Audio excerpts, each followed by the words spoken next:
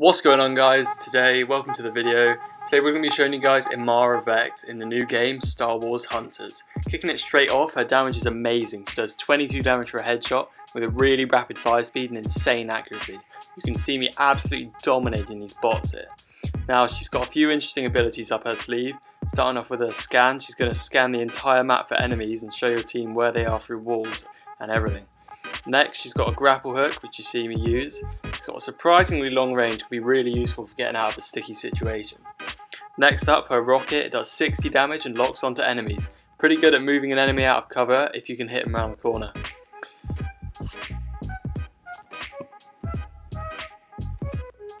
Now, Imara Vex's ultimate ability is ridiculously powerful. It can wipe out three enemies insanely fast, as you can see me do here, I'm not sure how balance changes are going to work in this game, but I can definitely see this thing getting nerfed in the near future. Now before we go any further, I want to thank Sandy Hotels and Resorts for sponsoring today's video. Sandy Hotels and Resorts offers relaxing holiday breaks, all from your own home on Roblox. Book yourself into a nice cozy room and have a meal at the restaurant. These are just a few of the services on offer. Looking for a job? Head to the application centre and you could be the next Sandy Hotels employee. Join Sandy Hotels and Resorts Discord server and in the promo codes channel, use code SANDYSPONSOR for a special coloured name tag. Join within the next 14 days and be entered into 1000 Robux giveaway. Thanks again to Sandy Hotels and Resorts for sponsoring today's video and let's get back into it.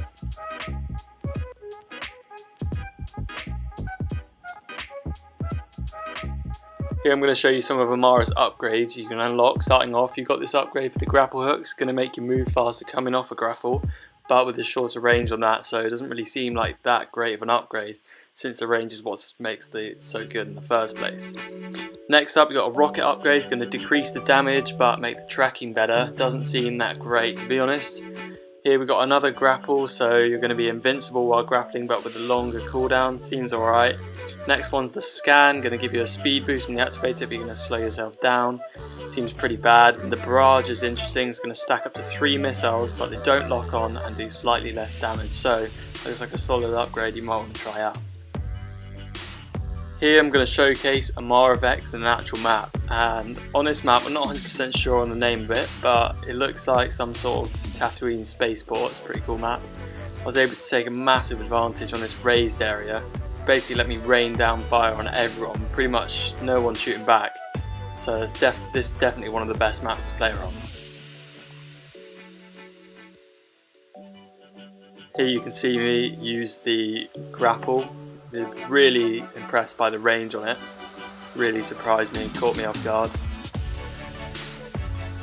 I was able to launch across the map pretty easily and I could see how this can be used. Say there's a someone with a lightsaber, you know, right on you. You can use that, get away, take take some cover, maybe heal up or something, and then turn fire.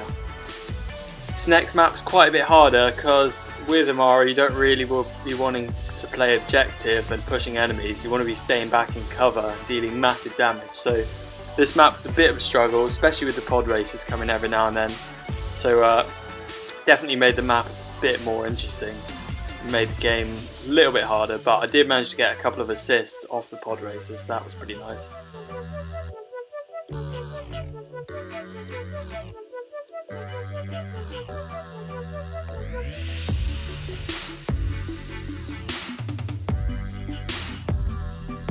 As you can see, the damage on this gun is ridiculous, although Amara's health is not great, so as you can see, nearly got wiped out there, but the damage is just insane. If your enemy stands still, they're going to get absolutely lasered.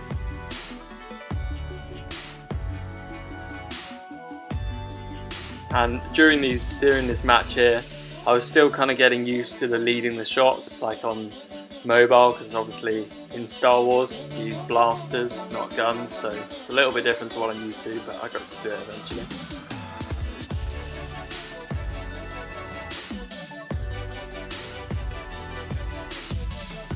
Here you can see me using the scan. I spotted, managed to spot the droideka through the wall, shot the rocket, which forced him to go out of the cover. Now I'm not too sure on this guy's abilities though, so he was popping a shield and stuff, so he did get run over by the pod racers though, which is, uh, yeah, those pod racers can really catch you off guard if you're not paying full attention to them. You're to make sure that you're keeping an eye when the floor turns red, making sure you're not getting in the way. Absolutely beam that guy there.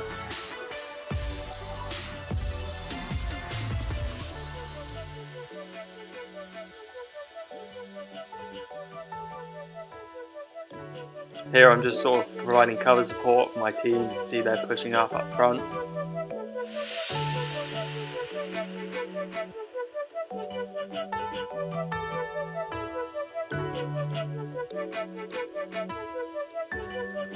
Managed to take out the droideka, some pretty clean shots there as the pod races come in. And uh, I had a little bit of a nightmare right here. See, I saw this little spaceport down there and I honestly thought it was part of the map. Um, so I tried to go down, I died to full damage even if it was part of the map. Uh, bit of an L for me, but you live and you learn I guess.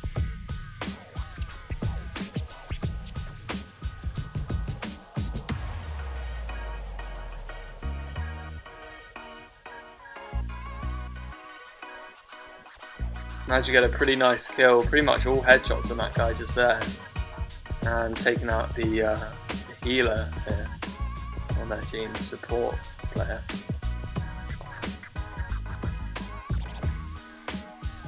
As I said, this map isn't ideal, but in the end I was able to come out with a win. As I said, Amara's going to be so much better on the more open maps where you can sit back and take down the enemies from far away. Thank you guys so much for watching. Don't forget to like and subscribe. Check the description for my social links. Peace out.